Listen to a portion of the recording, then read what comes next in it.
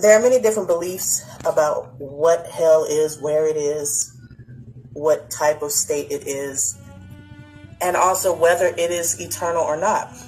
For some, hell may not necessarily be an eternal sentence in the afterlife. Um, some may also understand that through different stages of our life, we live hell on earth. And even that will may get to touch on later if we have time when I go into the Torah and specifically the, I mean, the tarot, excuse me, and specifically the tower experience that we all experience in our lives, the kind of ego deaths that we experience in our lives, these um, rock bottom experiences where we lose everything and we again are tried by fire through tribulation. And so hell may be a state of mind.